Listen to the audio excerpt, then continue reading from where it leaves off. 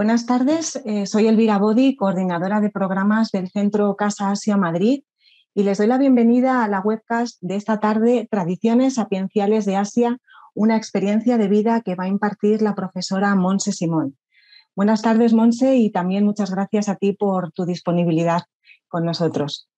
Muchos ya la conocen. Monse Simón es una colaboradora habitual de Casa Asia, conferenciante, profesora y con una larga trayectoria formativa, pero igualmente permítanme unas breves líneas para presentarla. Es licenciada en Filosofía por la Universidad Autónoma de Barcelona, posgraduada en Historia de las Religiones por la Universidad de Barcelona y diploma en sánscrito por la Banaras Hindu University. Imparte cursos de filosofía india, de yoga, de sánscrito y acompaña a las personas en su proceso de autoconocimiento a través del, asesoramiento filosófico sapiencial. Pues bien, esta tarde la profesora Simón hará un recorrido por algunas de las principales tradiciones de sabiduría de China, de Japón y de India y hará especial hincapié en cómo esas enseñanzas tocan algo tan esencial del ser humano que a pesar de haber transcurrido miles de años, siguen estando vigentes y siguen siendo fuente de inspiración para nuestra vida cotidiana. Además, la sesión de esta tarde sirve como preámbulo al curso online que Casa Asia ha programado con la profesora Simón bajo el título Filosofías Orientales desde la Filosofía Práctica, que comienza el 7 de octubre. Como todavía tenemos plazas disponibles, animo a aquellos interesados a que consulten toda la información en nuestra página web por si consideran matricularse. Y nada más, eh, efectos prácticos, recordarles que pueden participar en la conferencia mandando sus preguntas a través del chat o bien usando la plataforma Zoom o bien a través del chat de YouTube. Así que nada, bienvenidos de nuevo. Buenas tardes y Monse, te cedo la palabra. Buenas tardes, buenas tardes a todos. Muchas gracias por, por asistir a esta webcast. Y bueno, bienvenidos también después del verano. Yo es la primera, hoy arranco un poco ¿eh? con esto. Y, bueno, quería, quería empezar em, poniendo sobre la mesa qué es aquello que tienen en común todas estas eh, tradiciones eh, orientales, ¿no? estas tradiciones sapienciales, es decir, de sabiduría de, de Asia, y, reflexionando acerca de eso, me doy cuenta que una de las principales fuentes en común tiene que ver con el silencio. El silencio que es fuente común de las distintas filosofías, no solo de Oriente, sino que de todas aquellas filosofías y aquellas tradiciones que se abren ante el misterio, que, que se dejan asombrar por aquello que, no se puede definir, por, por, la vida misma, ¿no? por ese mirar y decir, bueno, ¿qué es esto? ¿no? La perplejidad ante el misterio, que es lo que da nacimiento y lo que dio nacimiento a la filosofía también en Occidente. El, ese abrirnos ¿no? a, preguntarnos. Y cuando nos abrimos a esa pregunta, a ese misterio, como que la mente se silencia. Aquella, es decir, el pararnos a mirar y ver nos lleva a un silencio de, no saber, de, no poder responder, dar una respuesta tipo, una, una respuesta cerrada. Y si nos atrevemos a descansar en ese silencio, de ahí van emergiendo respuestas, respuestas que no son cerradas, respuestas que, que surgen de un lugar profundo. Por eso podríamos decir que el silencio es en realidad la fuente de la que surge toda esa sabiduría, todas esas enseñanzas. Y también es el fin, también es el final de, esas enseñanzas, porque veremos, y, quienes participéis en el curso, pues tendréis más ocasión de, eh, de verlo en profundidad, en detalle, cómo muchas de las enseñanzas de estas tradiciones nos conducen hacia el aquietamiento, hacia, hacia ese silencio que tiene que ver con una actitud de, de introspección y que tiene que ver, como decíamos, con ese dejarnos asombrar. yo os lo he recogido en, en palabras de algunas de estas tradiciones que vamos a ver en el curso. En palabras taoístas, por ejemplo, tenemos recogido un fragmento que dice, el Tao no se puede oír. Lo que se oye no es el Tao. El Tao no se puede ver. Lo que se ve no es el Tao. El Tao no se puede declarar con palabras. Lo que se declara con palabras no es el Tao. Quien responde cuando le preguntan por el Tao no conoce el Tao. Este es un fragmento del Chuang Tse. Tendremos ocasión en el curso también de leer más fragmentos así, pero ahora lo traía a colación de cómo estas tradiciones nos invitan a, a, colocarnos en ese lugar de no saber, de silencio, desde el cual se abre un saber profundo, un saber que no tiene que ver con acumular conocimiento, que no tiene que ver con tener el conocimiento, sino con ser. Por eso hablamos de que son enseñanzas de vida también, porque nos interpelan en nuestra forma de vivir. Bueno, veremos también a lo largo del curso qué es esto del Tao. Claro, el propio texto lo dice, ¿no? Intentar decir qué es el Tao es no conocer el Tao, ¿no? Aquello que podamos decir acerca de, cuál es el origen, la fuente de todo, mm, no va a ser la fuente misma. Puede apuntar hacia ella, pero no va a ser la fuente misma. En palabras budistas, por ejemplo, en palabras del budismo, que también tendremos ocasión de ir viendo con, con detalle, dice, en la vacuidad no hay forma, ni sensaciones, ni percepciones, ni formaciones mentales, ni conciencia. En la vacuidad no hay ojo, ni oído, ni nariz. No hay ni ignorancia, ni extinción de la ignorancia. Y así, hasta no haber, fijaros lo que dice, hasta no haber vejez ni muerte, ni extinción de la vejez ni de la muerte. De la misma manera, no hay sufrimiento, ni origen, ni cesación, ni camino. No hay sabiduría ni logro, ni siquiera ausencia de logro. Fijaros que este texto que de nuevo apunta hacia aquello que, que no puede ser dicho, aquello que es inefable, que no se puede decir con palabras, que a la que intentamos ponerle palabras queda, queda desdibujado, como que las palabras no terminan de atraparlo, intentan apuntar hacia ello, y, quedan, uno se siente, ¿no? Cuando habla de ello, que, que quedan cortas. Aquí, por ejemplo, utiliza una dinámica em, paradójica, y eso también lo vamos a ver en el taoísmo y en, las tradiciones del hinduismo también. Eh, vamos a ver cómo muchas veces se recurre a la paradoja como para romper esa lógica con la que funcionamos habitualmente, que es la lógica del razonamiento como si todo pudiese reducirse al pensamiento, a la mente. Y efectivamente, la mente tiene un gran poder, un gran poder creador y, es muy útil para, em, bueno, para la vida cotidiana y para tantas cosas que tenemos que hacer y que razonar y para ver las causas.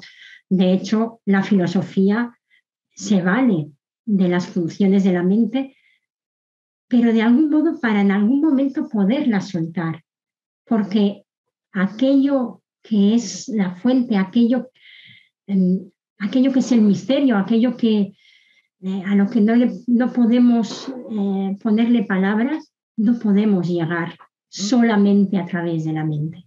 La mente puede ser herramienta, pero, pero no va a poder atrapar nunca la totalidad.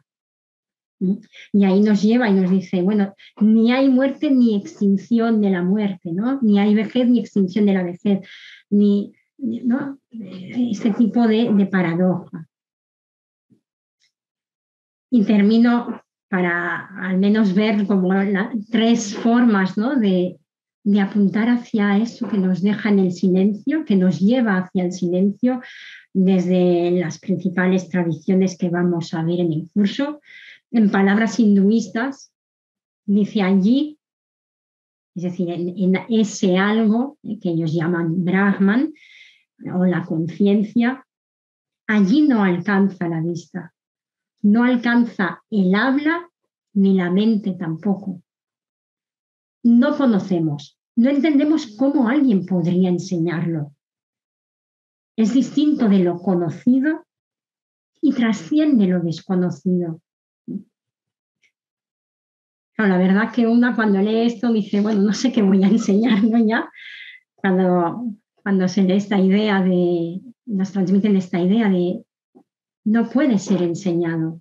De nuevo por este motivo, que puede apuntarse, puede tratar de transmitirse como hace la poesía, como hace la, eh, literatura, el arte, y, y, como hago yo también a través de las explicaciones, tratar de apuntar hacia ello. Pero luego la comprensión última debe de ser siempre una comprensión sentida, una comprensión sentida y vivida que, que no se alcanza, sino que, que ya está en nosotros, que se es. Y que aunque parezca paradójico de nuevo, a través del silencio se degusta, se saborea,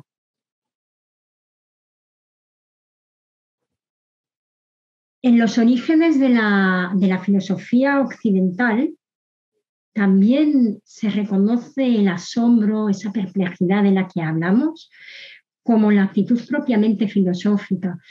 Y no son tan importantes las, las, las respuestas perdón, como las preguntas en sí.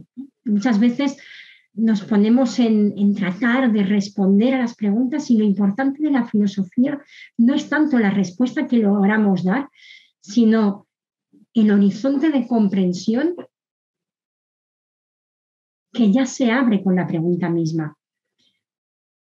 Cuando preguntamos, cuando preguntamos porque queremos ver, porque tratamos de mirar en profundidad. Y cuando tratamos de ver y de mirar en profundidad, ya hay una comprensión mínima, ya hay un horizonte de comprensión. Yo no puedo preguntar por algo que desconozco absolutamente. Para poder preguntar por eso tengo que tener como mínimo una vaga intuición, una vaga idea acerca de, aquello por lo, que por lo que pregunto o por lo que me pregunto. Muchas veces es solamente algo vago, ¿eh? pero, pero ya hay una semilla. Y, y entonces eso es, eso es lo importante, lo verdaderamente importante de la actitud filosófica. El, sorprendernos, el querer ver, querer mirar de nuevo, con disposición a la respuesta que pueda surgir o a las respuestas que puedan surgir, y que tal vez no sean respuestas definitivas, mm, con disposición a la incertidumbre también, a abrirnos a ese misterio que tal vez nos deja sin respuestas, que nos lleva muchas veces a ese silencio profundo, sin respuesta, a ese no saber, que en palabras de Sócrates, atribuidas siempre a, a Sócrates, ese solo sé que no sé nada. Es decir, desde esta mirada, desde ese silencio, de lo que me doy cuenta es de que en realidad no sé, que no tengo respuestas. O en palabras de Heráclito, también otro filósofo de la antigüedad em, griega, ¿eh? la verdadera naturaleza gusta de ocultarse. Es decir, la verdad, la verdad, a veces esta palabra puede sonar un poco como dogmática o contundente. No, la uso aquí en el sentido de aquello que sentimos como profundamente verdadero como fundamental de la vida se oculta de algún modo. Y, por eso necesitamos parar, querer mirar e ir hacia, hacia lo profundo para poder vislumbrarlo, para poder verlo de algún modo. Entonces tendemos a, a pensar que el silencio es una pasividad absoluta, que nos lleva al no hacer, que nos lleva a la pasividad, ¿no? Ah, pues si me quedo en silencio, si me quedo en, lo meditativo, y estoy hablando de esto porque, porque vamos a ver que esto es un elemento común en todas estas tradiciones. Todas las tradiciones orientales nos invitan a una práctica de silenciamiento. Y tendemos a, asociar esta idea con pasividad, con, que de ahí no va a surgir la acción y esto no es así. Y por ejemplo en el taoísmo de nuevo lo vemos, ¿no? que hablan del Wu Wei como ese, eh, ese no hacer y sin hacer todo se hace. Cuando confiamos y nos entregamos de veras a ese silenciamiento y, podemos reposar un poco en ella sin huir espantados, ¿no? Porque a veces nos asusta. La primera reacción ante ese aquietamiento es que surja todo el ruido que llevamos dentro y, muchas veces eh, también es de susto, ¿no? Incluso cuando conseguimos superar ese ruido, uff, si ¿no? tenemos la experiencia todos seguramente compartida, habréis vivido también, ¿no? La experiencia de ir a un, a un lugar en la naturaleza y, contemplar la inmensidad, qué sé yo, del mar, en, un lugar silencioso donde no hay nadie, o, la grandeza de una montaña enorme. Y, claro, y ahí uno se queda en, contacto con algo que es bello, que es grande, que es misterioso, pero que a la vez impone, que a la vez la misma cosa, ¿eh? Entonces, eh, el, silencio también a veces eh, puede darnos como un cierto pavor y, que pensemos que ahí todo va a quedar paralizado, pero es justamente lo contrario. Cuando conseguimos permanecer un poquito ahí, traspasar ese, ese primer, ese primer miedo, ese primer, esa primera impresión, nos damos cuenta que es la verdadera fuente de todo hacerse. Y digo hacerse porque es un dejar que la vida se haga a través de nosotros. Y esto también va a ser un hilo común en la mayoría de estas tradiciones. La, entrega, la apertura a la vida, dejando de imponer la, la voluntad limitada desde ese yo, desde ese ego desde nuestra ignorancia en el que tratamos de decirle a la vida cómo tiene que ser. Cuando nos abrimos a confiar realmente, las cosas se hacen y no porque nosotros nos quedemos pasivos, sino porque hacemos lo que tenemos que hacer sin, sin, cargar con el peso de yo soy el que hago, yo tengo que conseguir, yo tengo que llegar, como abiertos a la comprensión de que de que la vida se vive a través nuestro.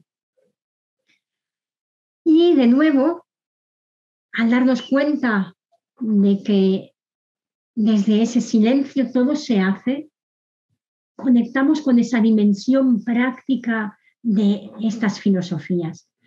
Y este es otro punto común en todas ellas. Si las filosofías orientales tienen algo a destacar para mí es que son filosofías prácticas, que, son, que no pueden entenderse disociadas de, de la forma en la que vivimos, de una praxis. Y de nuevo, remito a que esto también era así en Occidente, porque es verdad que luego la filosofía occidental ha tendido, em, desgraciadamente, a, algo muy restringido al ámbito teórico e intelectual, disociado en muchos casos de, de la propia vida. Es decir, cuántos filósofos han vivido em, completamente disociados de aquello que exponían, de aquello que decían. Esto no era así en los orígenes de la filosofía occidental y, no es así en, en las filosofías orientales. Y también decir que en las filosofías orientales también ha habido especulación, es decir, que aunque nosotros nos centremos en, esta, en este aspecto práctico que parece que han sido capaces de mantener más vivo hasta día de hoy, hasta pleno siglo XXI, aún así también ha habido quienes han vivido de forma más especulativa estas, estas tradiciones y filosofías.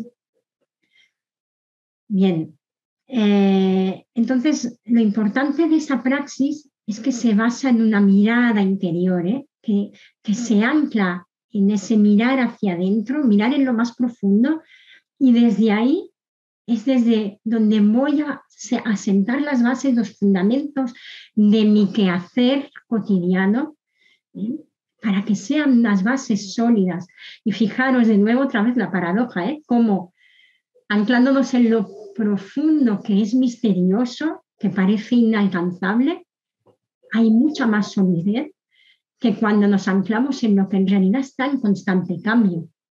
Y ese constante cambio nos hablará mucho el budismo, nos aportará mucho como enseñanza el reflexionar acerca de ese transcurrir de todo, cómo todo se está constantemente transformando y sin embargo tendemos a vivirlo como si, como si fuese nuestra identidad última, como si lo que somos estuviese en juego en aquello que en realidad está constantemente cambiando. Bien, más cositas que eh, quería comentar. Siempre se me hace extraño esto de, hablar sola con la cámara, ¿no? La costumbre de, de hacer las clases con, interactuando con los alumnos. Pero bueno, seguimos ahí. Tengo mis notitas para no perder el hilo. Bueno, quería destacar esta cuestión de cómo las filosofías orientales son eminentemente prácticas y cómo en el curso nos vamos a centrar en, la parte de, la filosofía, en la parte filosófica de estas tradiciones, porque también en estas tradiciones pues hay mucho de ritual, también como os decía, ha habido mucho de especulación o mucho de popular. Veremos algunos aspectos también que tienen que ver con el ritual o con lo popular, pero lo vamos a llevar una y otra vez al ámbito de la filosofía y voy a tratar de que, em, de que a lo largo del curso nos podamos empapar de que la filosofía, bien entendida, es en sí mismo una práctica. Es decir, si plantearme quién soy, qué es lo que hago aquí, cuál es el sentido del mundo, em, qué es todo esto, ¿no? ¿Qué, ¿Qué, es esta vida, este mundo en el que en el que he sido arrojada a existir, ¿no? En términos de heideggerianos. Eh, si preguntarnos todo esto no es una invitación a ese silencio del que hablábamos, a disponernos a mirar de verdad, honestamente, cómo estamos viviendo nuestra vida, entonces la filosofía pierde todo su sentido. Y entonces pura especulación, pura juego mental, eh, disociado de lo que somos. Yo entiendo que eso no es filosofía verdadera, que la filosofía verdadera siempre interpela lo más profundo de nosotros, quiénes somos, qué hacemos y, cómo queremos vivir la vida de la mejor manera posible, porque al final eso es un, un anhelo compartido, un anhelo un anhelo común que queremos, entiendo que todos quisiéramos llegar al final de nuestra vida y mirar hacia atrás y decir, ha valido la pena y, he vivido de la mejor manera que, he sabido y que he podido en cada momento, atreviéndome a mirar, atreviéndome a abrirme a la vida. Entonces, eh, bueno, el título de la charla de hoy, ¿no? que de esta conferencia, era Las tradiciones sapienciales de Asia, una enseñanza de vida. Bien, sapienciales, que tiene que ver la palabra con saber, sapienciales de sabiduría, y a su vez saber, y a mí me gusta mucho esta etimología, que tiene que ver con saborear. Y, y ese saborear es saborear lo que somos para poder vivirlo plenamente. Entonces, poder aprender así a saborear la vida hasta, hasta el final.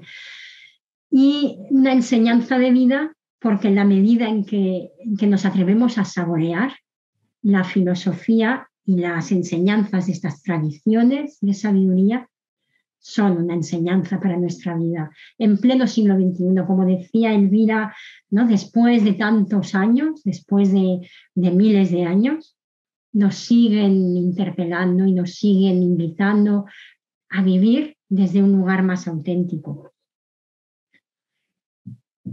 Entonces, voy a desglosar un poquito el aspecto práctico del programa que podéis consultar en la web de Casa Asia del curso, voy a desglosar esa parte práctica de cada uno de los puntos. Aquí haciendo unas pinceladas y animándoos a que si tenéis ganas de, ahondar más en ello, pues participéis en el, en el curso que comienza el día 7 de la India eh, nos enfocaremos en el hinduismo y el budismo principalmente. Habría otras tradiciones como el jainismo, la tradición sikh, eh, las tradiciones tántricas. Nosotros eh, vamos a centrarnos en estas dos por acotar, pues porque el curso es un curso tampoco, o sea, bastante corto. y entonces del hinduismo vamos a ver la cuestión del ritual y del pensamiento filosófico. Vamos a ver cómo el punto de partida del hinduismo es sobre todo el aspecto ritual y cómo después hay un, y no después, también durante el ritual, hay un pensamiento filosófico que empieza a cuestionar el ritual llevado a cabo solo buscando el beneficio propio. De nuevo, si yo, esa búsqueda del beneficio personal y nada más. Y, también la realización del, ritual como algo automático, ¿eh? cómo se va despertando una crítica a todo esto y mm, empieza a ver en la India una apertura a algo más grande que nosotros mismos, a ese misterio del que hablábamos.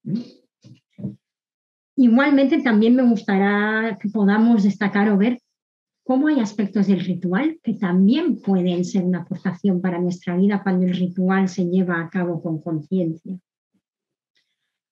Veremos también la cuestión del sistema de castas y de eh, las metas que se plantea idealmente en hinduismo para, para el ser humano, para cada persona. Y, estas, bueno, estas metas son la virtud, la riqueza, el gozo sensual, el gozo de los sentidos, los placeres y la liberación, finalmente, como la meta última. La liberación del sufrimiento. Fijaros que tanto el hinduismo como el budismo son dos filosofías que buscan principalmente liberarnos del sufrimiento. Y liberándonos del sufrimiento hay la vivencia de la plenitud,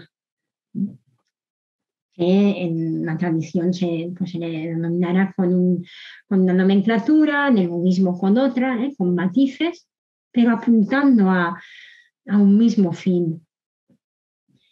Entonces, respecto a las metas del hombre, por ejemplo, será muy interesante ver eh, cómo nos puede servir de guía orientativa para nuestra vida, cómo podemos dar cabida a elementos que a veces también en esa dicotomía entre lo mundano y lo sagrado eh, nos perdemos y, parece que tiene que ser una cosa o la otra. Y estos cuatro objetivos de algún modo nos invitan a integrar esos dos aspectos. Y la integración de esos aspectos también va a ser común, de nuevo, en, en no sé si en todas, ahora tendría que mirar una por una, pero en varias de estas tradiciones ¿eh? va a haber esa integración. En el Zen ahora me venía a la mente el Zen, ¿no? Cuando, cuando ya esté el, monje, ¿no? Cuando está en la montaña y ha llegado a la cima, vuelve al mercado, es decir, vuelve al ruido, vuelve al, a lo mundano. Desde el silencio. Entonces, de nuevo, esa integración entre lo sagrado y lo mundano. Veremos también cuatro conceptos fundamentales que aparecen en el programa, que son Dharma, Karma, Samsara y Moksha, y que van a ser fundamentales porque nos ayudarán también a entender el budismo. Y luego el budismo a su vez nos ayudará a comprender el Zen. Y, bueno, y también veremos influencias que hay luego entre el budismo y el taoísmo, ¿eh? que se verán sobre todo reflejadas en el Zen. Entonces son términos transversales de la filosofía india, de toda la filosofía india, me atrevería a decir, o de casi toda la filosofía india. Eh, por lo tanto, términos que son que yo ahora he citado en sánscrito y que será interesante desglosar, ver, ¿no? Eh, la cuestión del deber y cómo se relaciona con el tema de la libertad, ¿no? El dharma como ley, como deber, como orden. Y nosotros tendemos a ver esto de nuevo en conflicto en muchas ocasiones con la libertad. y, será interesante reflexionar cómo pueden eh, conjugarse, ¿no? confundirse, eh, unirse el deber y la libertad. Es más, cómo en el deber bien entendido, que no es autoimpuesto, que no procede de, una, de un ente externo ajeno a nosotros, sino de un sentir profundo, como en ese, en ese deber hay libertad. Y como de hecho la libertad que no es comprometida, que no apela a ese deber sentido en lo profundo, em, pues muchas veces es, libertinaje o es, eh, es una, forma de entender la libertad muy pobre ¿eh? y, muy, muy poco duradera, muy efímera y, que en, no pocos casos conlleva sufrimiento. Veremos también la cuestión del karma, eh, la relación entre nuestras acciones y, los resultados de las acciones. Veremos una cuestión que es más propia de las tradiciones, eh, que es el tema de la reencarnación y, la posibilidad de liberarnos del sufrimiento que habíamos dicho. Luego, en el budismo, veremos la idea de Buda como aquel que ha despertado. La palabra Buda en sí mismo significa eso. El que ha despertado, ha despertado a qué? A una comprensión profunda. ¿eh? De nuevo apela a una experiencia de vida y por lo tanto el Buda no es solo el personaje histórico, sino que es también eh, la budeidad, es decir, la condición, la potencialidad en cada uno de nosotros de despertar, de comprender de qué va esto de la vida. Veremos el tema de las cuatro nobles verdades, desarrollaremos ¿eh? el, Buda en ese comprender, en ese despertar. Lo que vio son lo que se ha llamado las cuatro nobles verdades, cuatro intuiciones ¿eh? que tienen que ver con darse cuenta de que hay sufrimiento en el mundo. Ese sufrimiento tiene una causa. Y entonces hay que ver, hay que buscar cuál es la causa última del sufrimiento. Porque, y esa es la tercera noble verdad, erradicando la causa, y nos dice el Buda por su experiencia, es posible erradicarla. Yo yo lo he vivido. Yo vivo que es posible liberarse de esa causa última y con ella liberarnos del sufrimiento. Y para eso, como propone finalmente el octuple sendero noble, ¿no? varias vías de ir siguiendo como herramientas para, eh, para poder erradicar ese sufrimiento. Fijaros, cómo son de prácticas estas filosofías. ¿eh? Primero miramos vemos, nos damos cuenta, en este caso, de que hay sufrimiento, buscamos desde la actitud filosófica a ver cuál es la causa. ¿Cuál es la causa última? Vamos tirando del hilo porque a veces aparece una causa, pero vamos a ir buscando siempre. Y detrás de esa causa hay otra, hay otra, hay otra, hasta que demos con cuál es la causa original. Y ahí es donde vamos a tener que mirar, indagar, examinar con profundidad y en la medida en que vemos y comprendemos la causa, a veces no es una cuestión de hacer algo con ella en sí, porque esto de erradicarla suena, bueno, ¿y qué, hacemos? ¿Cómo se erradica? Sí, nos dan pasos también para hacerlo. Pero muchas veces es más un disolverse que tiene que ver con que en la medida en que estamos dispuestos a mirar y a ver, hay ese, ah, claro, ese eureka, ¿no? Propiamente filosófico de, claro, era esto. Y en la medida en que lo veo, ya no voy a actuar del mismo modo. Igual se despertarán cositas, pero pues automatismos que tenemos, ¿no? hábitos que tenemos muy integrados, pero, eh, pero en la medida en que los vamos viendo y que nos los vamos viendo, podremos abrazarlos, podremos no ser prisioneros de esos hábitos. Bueno, veremos también el tema de la interdependencia, otro punto importante de reflexión que propone el budismo, ¿eh? cómo todo está interrelacionado, todo está interconectado. ¿eh? Y esto hoy se hace más evidente que nunca con el mundo de las tecnologías, con la globalización, además con toda la, reflexión que eso conllevaría también de cómo a la vez somos capaces de individualizarnos más y más. Pero bueno, esto sería ya otro, otro cantar. Pero el darnos cuenta de nuevo de cómo todo depende de todo, todo existe a la, simultáneamente y, y nada existiría de la misma forma si no existiesen esas otras cosas simultáneas, sino que ya sería otra realidad, si queréis, paralela, ¿no? Em, no nos deja indiferentes. Cuando realmente vemos la dimensión, el alcance que tiene pensar que esto es así y ver que esto es así, eh, pues también nos toca en la forma de vivir, porque el otro ya no es solamente el otro como algo distinto de mí, sino que está interconectado. Lo que le pasa al otro también me importa porque también me afecta a mí, también me pasa a mí. Veremos la cuestión filosófica acerca de la negación de, que haya un ser último permanente y esto nos va a llevar de, de lleno a la cuestión de la identidad, que es ese yo al que apelamos constantemente. El budismo nos dirá, no, no, todo está en constante cambio, no hay un yo eh, al que podamos aferrarnos, no existe una identidad última. Y aún así existe, claro, de nuevo el lenguaje nos engaña, ellos eh, es engañoso, ellos hablan de la vacuidad, de la nada, pero esa nada es una nada viva, como, como dicen algunos compañeros filósofos. Es una nada llena, mm, no es una nada nihilista, no es una nada que nos lleva a la desesperación o a no soy nada ni nadie, no hay ninguna identidad ahí. Bueno, lo veremos todo esto eh, más a fondo. Y de nuevo el tema de la liberación, en este caso como una llama que se apaga.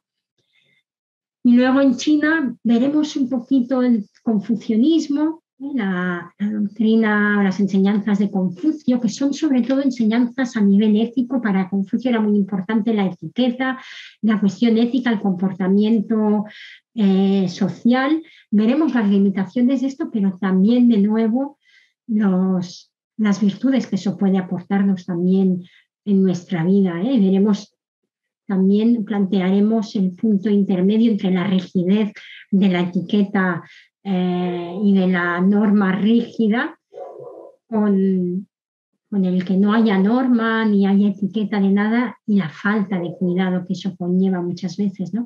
¿Cuál es ese punto intermedio? ¿Mm? Veremos eh, la importancia del orden y de la virtud, la importancia también de reconocer y de agradecer el legado que de nuestros ancestros, de nuestros antepasados, ¿no? Cómo estamos donde estamos gracias a todo lo que la humanidad a lo largo de su historia ha ido aportando, ¿eh? granito a granito. Hablaremos eh, también del sentido de lo humano y cómo él, cómo Confucio lo relacionaba con la benevolencia, ¿eh? Que tiene que ver con el amor hacia nuestro prójimo. A mí este punto siempre me recuerda un poco al, cristianismo, el, el amor hacia el prójimo, la relación con el otro. Por lo tanto, también va a ser interesante para nuestra vida ver cómo me estoy relacionando con el otro. Eh, de nuevo, si yo tengo grandes ideas acerca de Dios, acerca de la espiritualidad, pero eso luego no se ve reflejado en mi día a día, miremos qué está pasando. Si luego yo trato mal al otro, si veamos qué está, qué está pasando ahí. Y, bueno, hablaremos también de la importancia de la cultura, de la educación dentro del, confucianismo. Y eh, en el taoísmo veremos mucho toda esta cuestión del misterio al que apuntábamos al inicio de la sesión, de cómo el Tao no puede ser dicho, no puede ser expresado. Y el uso de esa expresión paradójica para tratar de apuntar o señalar hacia aquello que es inefable pero de lo cual surge todo. Y nos dejaremos interpelar por eso. En el, a lo largo del curso voy a llevar fragmentos de textos eh, para dejárnoslos sentir y también nos invitaré a hacer algunas prácticas meditativas propias de cada tradición, aunque ya os digo que el propio aspecto filosófico reflexivo es en sí mismo una práctica. Por lo tanto, habrá por un lado esa práctica filosófica propiamente y por otro lado algunas pequeñas prácticas más meditativas que os invitaré a hacer para degustar un poquito cada una de esas tradiciones. Veremos de nuevo con el taoísmo la cuestión de la no acción, em, pero como desde, desde, ese no hacer todo se hace.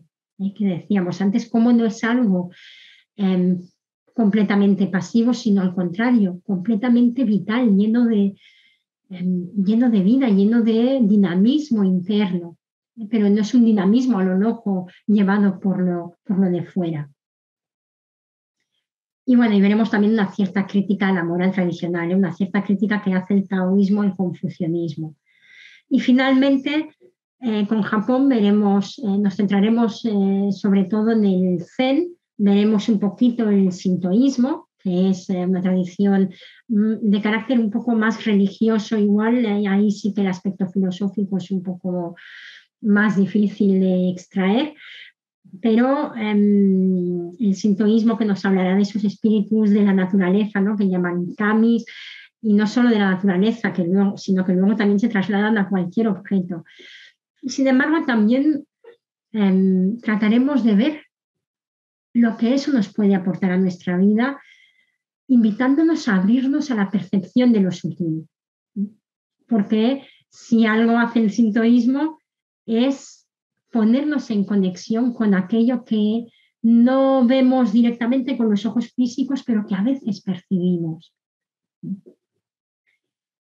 Como, sí, esas pequeñas presencias o, bueno, como mínimo abrirnos a la posibilidad de que tal vez eso esté ahí. Y bueno, y desde el budismo zen eh, veremos la práctica del zazen, ¿eh? del sentarse a meditar, haremos algunas prácticas, veremos cómo el budismo eh, al viajar por China y luego llegar hasta, hasta Japón eh, se fue transformando, fue tomando elementos del taoísmo, del confucianismo, fue mezclando determinados elementos que llevaron al zen o que han llevado al zen a ser propiamente lo que es.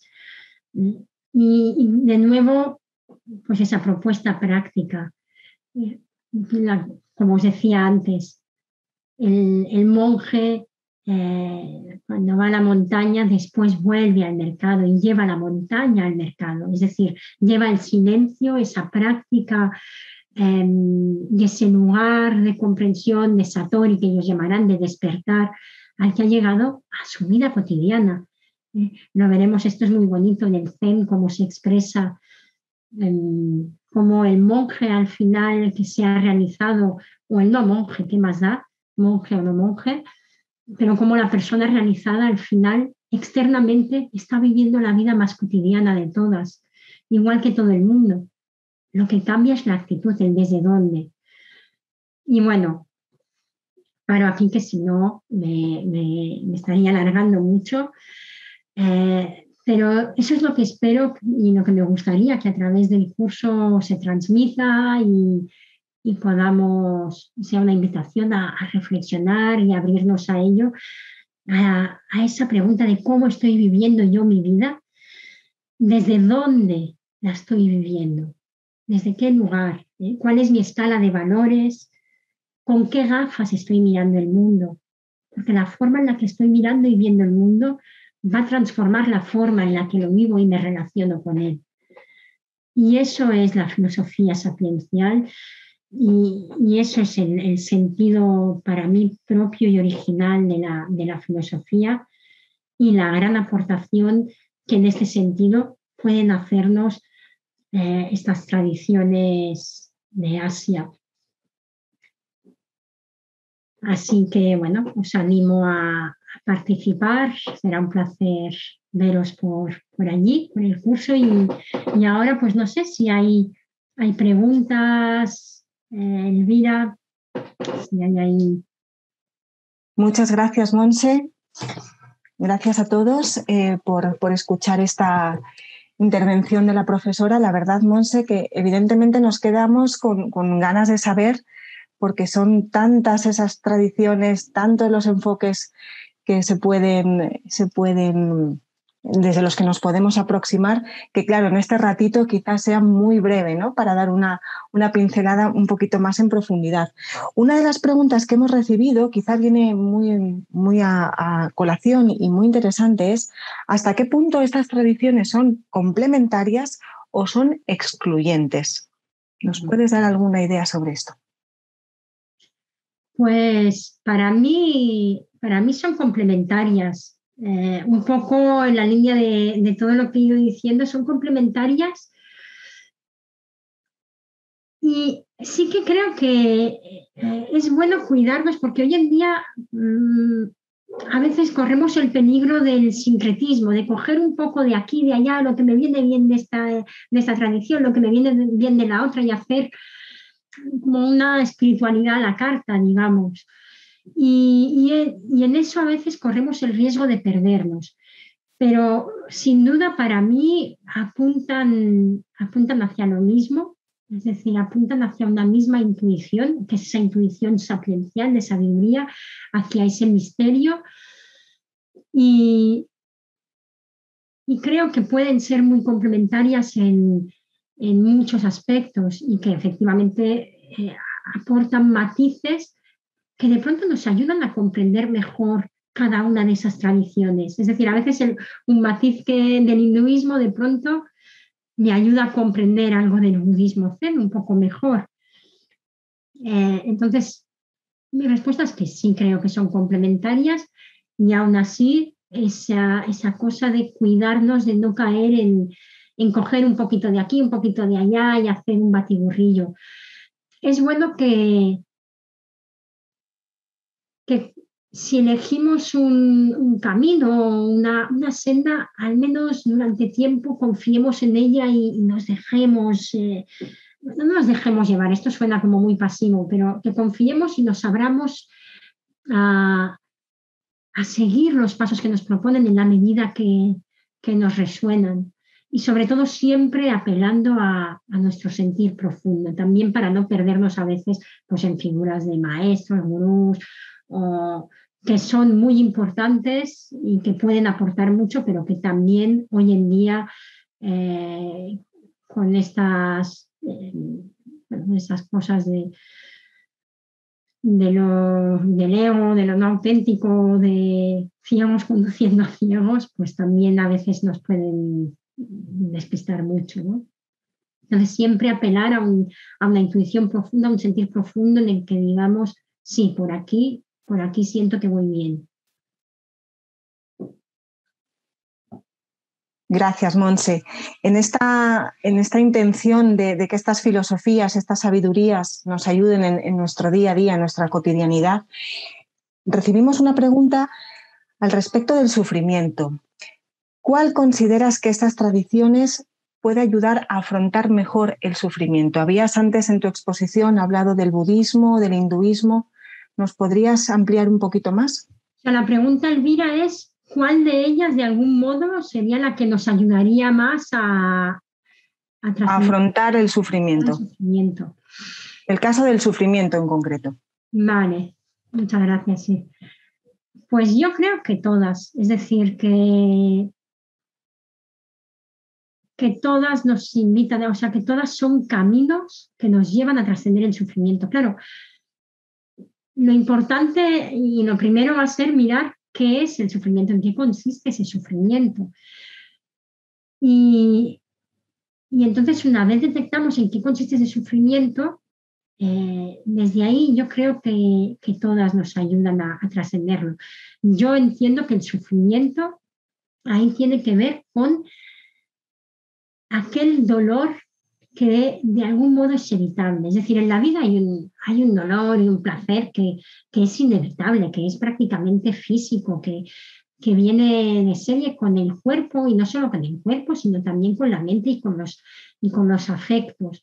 Un, sentir inmediato de, eh, pues, si alguien pues hace algo, yo qué sé, ¿no? O si, alguien se me muere una persona querida, pues voy a sentir tristeza y voy a sentir dolor y eso es inevitable porque he amado a esa persona. ¿eh? Lo que luego hay es un sufrimiento añadido que es evitable. Y yo entiendo que estas tradiciones, cuando nos hablan de eh, trascender el sufrimiento, de erradicar el sufrimiento, se refieren a ese sufrimiento que es evitable, que depende en gran medida de lo que nos estamos diciendo, de creencias en las que nos hemos instalado y que, y que vivimos en nuestra vida cotidiana sin ser ni siquiera conscientes muchas veces de ellas. Entonces, a la pregunta de cuál de las tradiciones nos puede ayudar a superar mejor ese sufrimiento o a erradicar el sufrimiento, creo que cualquiera de ellas.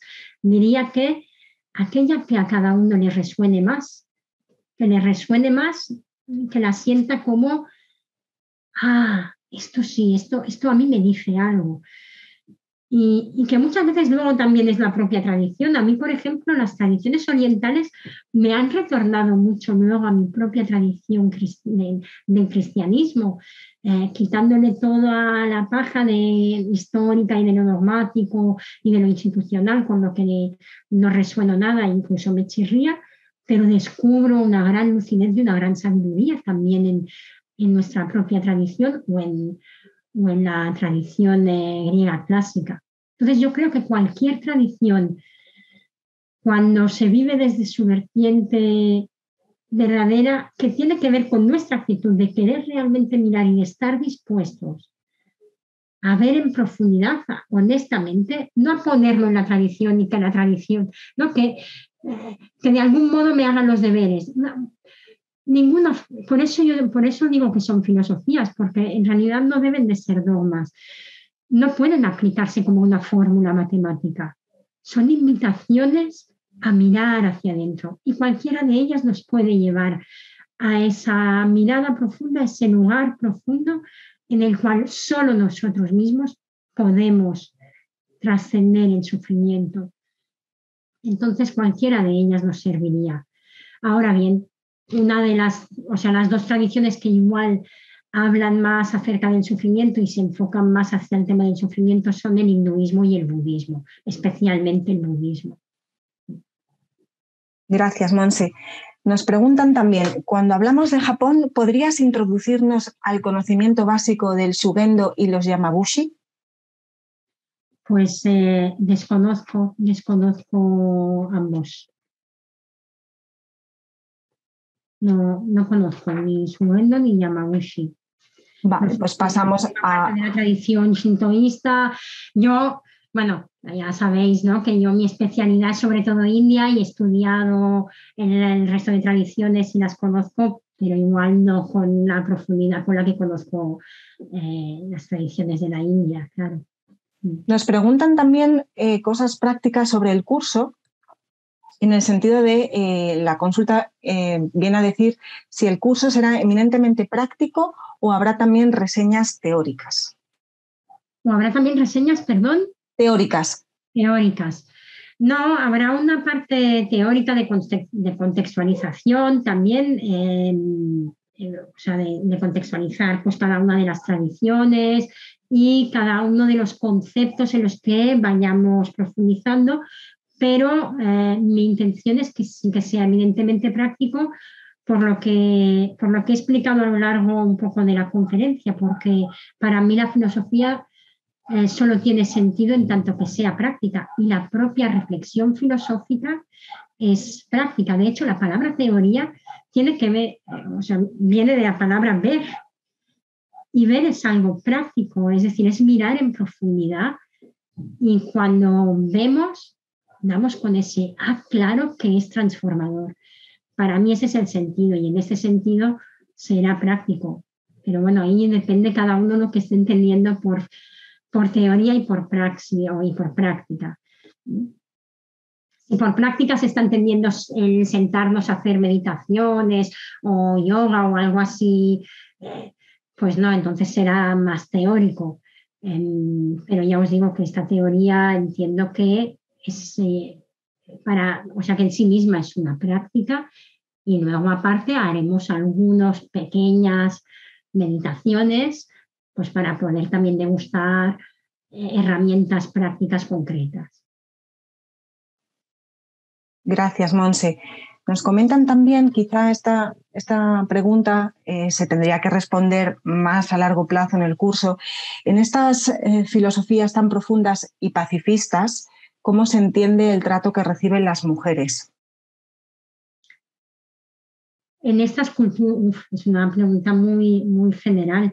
Claro, ¿cómo se ha entendido históricamente es una cosa y, pues vivimos en un mundo que ha sido evidentemente, o sea, que ha sido predominantemente patriarcal y, y esas tradiciones no, no, están libres de, de esa patriarcalidad. Eh, y luego, bueno, pues depende en qué pongamos el, foco, ¿no? Es decir, que, que luego en cada una de esas tradiciones habría que ver cuál ha sido el papel de, de la mujer, cuál ha sido a veces el papel teórico y luego a nivel práctico cómo se lleva eso a cabo. Em, no es un tema que vamos a tocar en el curso, no, no es el tema en el que, en el que me vaya a centrar. Eh, creo que hoy en día esto está cambiando a nivel mundial y entiendo que estas tradiciones pues también están tratando de integrar este aspecto.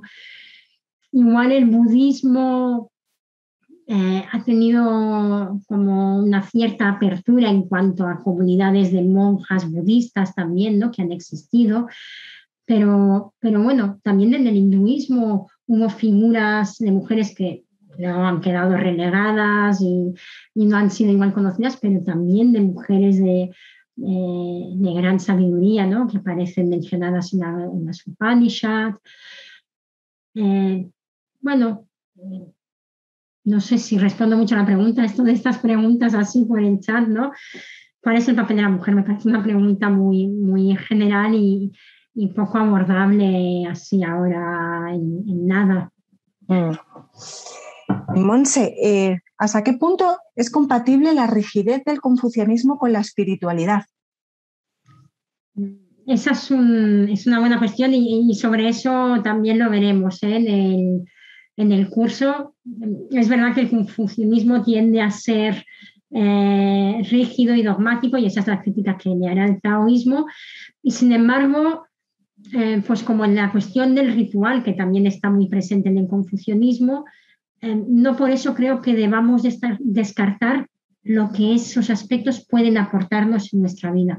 Pero esa va a ser una reflexión, ¿no? Porque es cierto que incluso la vida espiritual muchas veces se acaba viendo mm, normatizada y, convirtiendo en algo rígido a causa de esas normas éticas y demás. Entonces, sí que, sí que hay que mirar y ver bien, ¿no? Eh, a medida que abordemos los temas, de qué modo podemos enfocarlo para que la, virtud y la ética no se convierta en, en norma y rigidez.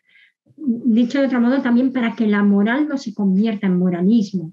¿eh? Una cosa es la moral, que nos ayuda a vivir de una determinada manera en el mundo con nuestros congéneres, ¿no? con el resto de personas y de seres, sin que nos sean indiferentes, pero otra cosa es el moralismo que, eh, que enjuicia eh, la totalidad del ser de la persona como buena o mala mm, por sus acciones. Mm, ahí es una buena reflexión que, en su momento podremos, abordar. Mm. Muy bien, Monse. Eh, vamos a ir finalizando las últimas preguntas. Eh, nos pregunta en qué se basa la felicidad de estas religiones y filosofías y en qué se distinguen de la fe cristiana o musulmana en cuanto a la manera de vivir hacia los demás. Wow, claro, de nuevo es una pregunta, sobre todo la segunda parte sí que es muy amplia. La primera, mm, lo que me venía cuando, en cuanto he escuchado la pregunta, es que la felicidad diría es básicamente plenitud. Plenitud, una paz profunda. Y eso no alude ni a una felicidad, ni a una paz superficial, de que tengamos que estar siempre constantemente sonriendo o que vivamos como en la inopia, ¿no? sino que digo una paz profunda, una dicha profunda, porque es, más bien una serenidad. Eh, los griegos la llamaban ataraxia, ¿no? una serenidad, un estar en algo que incluso aunque esté triste, aunque haya una situación difícil, hay algo en mi fondo que se siente en paz. Y yo creo que esa es la, felicidad hacia la que apuntan estas tradiciones. Es una felicidad que, en términos, por ejemplo, del zen, no mente, ¿no? En el que no interviene la mente como el yo que intenta imponer ¿no? la felicidad, ha de ser esto, esto y esto. Y solo si hay esto, esto y esto, entonces soy feliz. No, y precisamente es em, soltar esa mente para abrirnos a la no mente y, y, estar en lo que ya somos en realidad. Y claro, ¿cuál es la diferencia con respecto al cristianismo o al islam? Decía eh, en la forma de comportarnos con el otro. Digo que esa es amplia porque, claro, en cada tradición ahí va a ser distinto. Por ejemplo, el hinduismo no es que incide especialmente en cuestiones de cómo comportarnos con el otro, incide muchísimo en, esta cuestión de, del autoconocimiento, que no es el conocimiento del yo me mío, sino de ese yo profundo que está mucho más allá de lo que normalmente entendemos como ego. En cambio, el budismo, por ejemplo, una parte del budismo también será más de, oye, trabájate tú y ya desde ahí ya te vas a relacionar con el mundo eh, de la mejor manera posible, mientras que otra parte del budismo, el budismo tibetano y el budismo mahayana, así en grandes términos, eh, sí que ha hecho gran hincapié en la compasión y, por ejemplo, ahí tendría más semejanzas también con el, eh, con el cristianismo, que también pone, hace mucho hincapié en la mirada hacia el otro. Eh, y el gen también, también está imbuido al final de esa, de esa importancia de la compasión, ¿eh? porque no deja de ser eh, una rama del Mahayana. Entonces, claro, depende, el confucianismo, que lo he comentado antes, también más cercano ¿no? a esa ética judeo-cristiana, igual de, de, hacer bien al prójimo. Mm. Claro, es que son, son preguntas muy amplias, ¿verdad? Reflexiones muy profundas. Sí, muy interesantes, ¿eh? pero quedarían para una sesión entera al igual de, reflexionar acerca de ello. Y que también te digo que hay algunas cosas que yo a lo mejor ni me las he planteado mucho a veces, ¿no? Hay preguntas que sí, muchas de las preguntas pues yo ya las he reflexionado también, pero bueno, de pronto algunas es como, ay, pues no sé, esto Quizá el curso pues dé cabida ¿no? a todo este tipo de, consultas también. De hecho, hemos recibido eh, igualmente consultas desde el punto de vista práctico, es decir, el curso eh, darás bibliografía, nos comentan también habrá apuntes, es decir, como antaño, ¿no? Es decir, estas sesiones un poco más de, bueno, de escribir, de, de, dar pautas ¿no? por tu parte, y si las sesiones van a quedar grabadas, las sesiones del curso. Sí. No sé si pues un poco sí a todo, daré apuntes para poder seguir las clases, ¿no? Con las cosas básicas que al final siempre acabo incluso extendiéndome, o sea que, hay ahí una generosidad en los apuntes normalmente. Y, bibliografía también, daremos una bibliografía general y orientativa. Luego, si alguien ya quiere algo más concreto, pues eh, me lo puede preguntar de, forma particular y ahí en la medida que pueda, le, puedo igual pasar algunas bibliografías más concretas.